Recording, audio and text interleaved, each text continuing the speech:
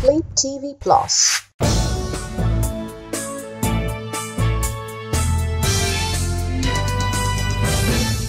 This is morning news. Here are the headlines. Shettima meets Chinese president. Senate confirms Olukoyede as EFCC chairman. Sanwo-Olu kicks off construction of $100 million film city. Biden in Israel on solidarity visit. Now the news. The president of China, Xi Jinping, on Wednesday met with Vice President Kashim Shettima at a bilateral meeting in Beijing. Stanley Nkwocha, Shettima's media aide, said in a statement that during the meeting, the Chinese president pledged increased investment in Nigeria's power generation and digital economy and called for the protection of Chinese nationals working in Nigeria. He stated that he would, in turn, ensure that the Nigeria-China bilateral relation is more robust than before. According to the statement, President Jinping promised that China would enhance political support and build cooperation in all fields just as he appreciated Nigeria's support of one China policy. Meanwhile, the Senate on Wednesday confirmed Ola Olukoyede as the chairman of the Economic and Financial Crimes Commission, EFCC. The Red Chamber also confirmed the appointment of Muhammad Hammajoda as the secretary of the Anti-Graft Agency. The confirmation of both men followed their screening by the upper chamber on Wednesday afternoon, about a week after they were appointed by President Bola Ahmed Tinubu. The Senate also screened and confirmed the appointment of Ali Shehu as the Chief Executive Officer of the National Social Investment Program Agency, NSIPA. The President had on October 12, 2023 appointed Olukoyede and Hammajoda as Chair and Secretary to the Commission, respectively. In other news, the Lagos State Governor Babajide Sanwo-Olu on Wednesday performed the groundbreaking ceremony of the $100 million Lagos Film City. The Film City, which is located on a 100-hectare land area at Ikosi Ejinrin area of Epe local government area, is a public-private partnership model which will create numerous job opportunities, stimulate economic growth, and attract investment.